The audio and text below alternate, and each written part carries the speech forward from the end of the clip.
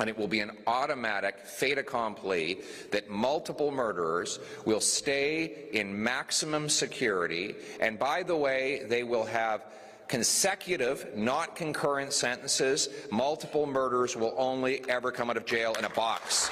Conservative leader Pierre Poilievre says he is going to make tough on crime policies part of Canada's future. Hi, I'm Brian Lilley, political columnist for the Toronto Sun.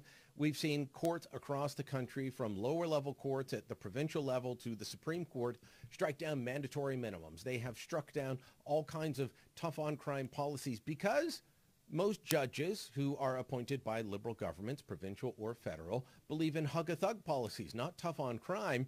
And so you've seen things like mandatory minimums for child luring or sexual assault struck down on hypotheticals. Not the case before the court, but a, a hypothetical that they, they dreamed up and then said, well, in this case, it would be unconstitutional.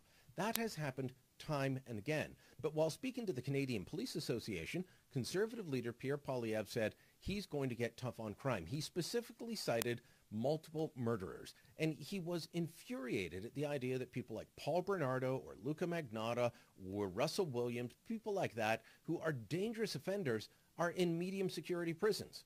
Well, Poilievre said when it comes to multiple murders like Bernardo, he's going to make it simple.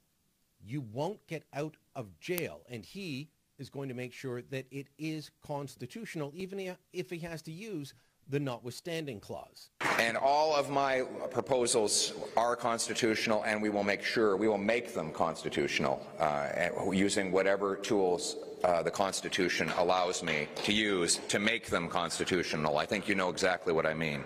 Um, so they will happen and they will stay in place, and I will be the democratically elected Prime Minister, democratically accountable to the people, and they can then make the judgments themselves on whether they think my laws are constitutional, um, because they will be. Now, the Police Association, that's the frontline officers, they applauded this. You're going to hear an awful lot of commentary on how awful this is. But there's a reason that we have to go this route.